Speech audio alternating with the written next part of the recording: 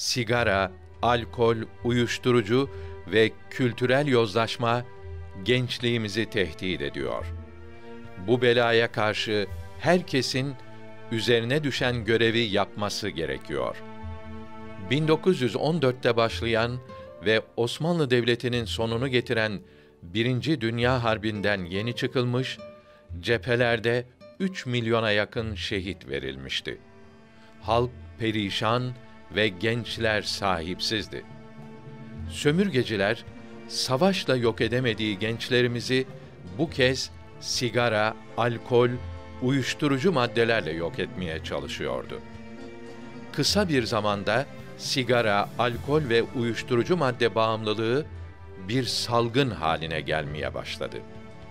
İşte bu faciayı görüp işin vahametini kavrayan Mazhar Osman gibi vatansever aydınlar halkı ve gençliği uyarmak ve bu yolda mücadele vermek için 5 Mart 1920'de Türkiye Yeşilay Cemiyeti'ni kurarak tarihi bir misyon üstlenmişlerdir.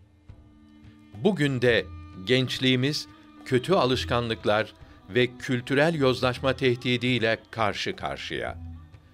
Gençliğimizi bu kötü durumdan korumak, bilgilendirmek ve bilinçlendirmek için sivil toplum örgütleri ve gönüllü kuruluşlara önemli görevler düşüyor.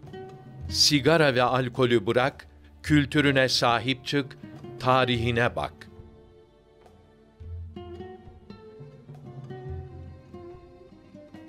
Birinci Dünya Savaşı 1918 yılında imzalanan Mondros Mütarekesi ile son bulunca galip devletler Anadolu'yu ve Türk vatanını paylaşmak, parçalamak için dört taraftan saldırmaya başlamıştı. Akif'in yangını milleti saran yangındı. Mondros Ateşkes Antlaşması'ndan sonra başlayan işgaller, 623 yıllık bir cihan imparatorluğunun yıkılışı onu derinden sarsmıştı. Buna rağmen yılmadan, usanmadan çalışıyor, çabalıyordu. Azimliydi. Yeyse ümitsizliğe yer yoktu Akif'in hayatında. Yeys öyle bataktır ki düşersen boğulursun. Ümide sarıl sımsıkı, seyret ne olursun diyordu.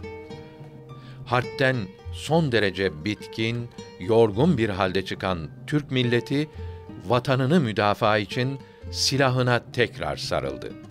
Akif yine sahnedeydi. Anlatıyordu, haykırıyordu, yazıyordu. 1919 yılına gelindiğinde ise memleket en karanlık günlerini yaşıyordu.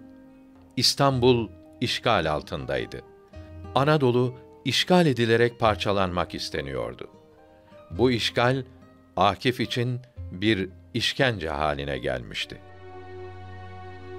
Akif, Safahat'ın en önemli eseri olan Asım'ı 18 Eylül 1919 tarihinde işgal dönemlerinin bu çileli günlerinde yazmaya başladı. 19 Mayıs 1919'da Mustafa Kemal ve 18 arkadaşının Samsun'a çıkışından sonra Osmanlı Devleti'ni Sevr Anlaşması'na zorlamak isteyen işgalci kuvvetlere karşı direniş başladı. İşgal bazı aydınlarda mandacılık fikrini oluşturmuştu. Akif bu manda fikrine karşı şöyle haykırdı. Türkler 25 asırdan beri istiklallerini muhafaza etmiş bir millettir. Bu tarihen müsbet bir hakikattir. Türkler istiklalsiz yaşayamaz.''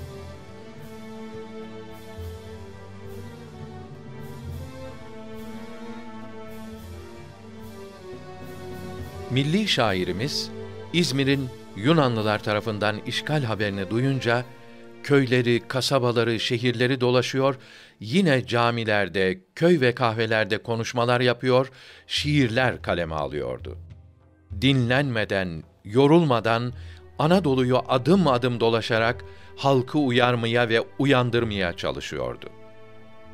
Yunan işgal kuvvetlerine karşı Ayvalık ve Balıkesir'de bir cephe açılmıştı. Akif, Eşref Edip'le matbaayı dağılarak İstanbul'dan İnebolu üzerinden Kastamonu'ya gitti. Sebilür Reşat buradan yayına devam etti. Oradan da hemen Balıkesir'e geçti. Balıkesir'de halk Akif'i beklemektedir. Zanos Paşa Camii'nde kürsüye çıktı ve cihan alt üst olurken seyre baktın böyle durdun da bugün bir serserisin derbedersin kendi yurdunda diye başlayan şiirini haykırıyor ve hutbesini şöyle bitiriyordu. Ey Balıkesir'in muhterem mücahitleri! Anadolu'yu müdafaa hususunda diğer vilayetlere ön ayak olma şerefine nail oldunuz. Gayretiniz hayranlık uyandırmıştır.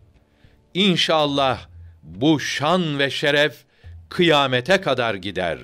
İnşallah vatanımızın haysiyeti, istiklali, saadeti ve refahı ilelebet korunur. Kastamonu Nasrullah Camii'nde verdiği vaazlar, hutbeler Diyarbakır'da çoğaltılarak bütün ülkeye dağıtıldı. Nihayet 10 Nisan 1920'de 10 yaşındaki oğlu Emin'le beraber Ankara'ya geldi. Meclise girdiklerinde Mustafa Kemal'le karşılaşırlar.